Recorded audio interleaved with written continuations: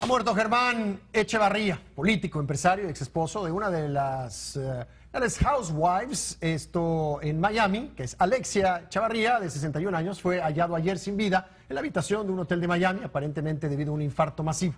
Alexia, cofundadora con su ex, la revista Venue, escribió en las redes que toda la familia está devastada por la repentina muerte de su patriarca y pidió privacidad en este momento tan difícil.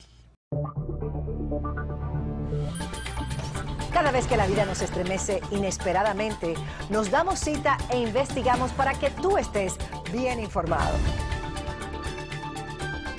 En el Rojo Vivo estamos conectados con nuestra comunidad, con sus necesidades y sus urgencias.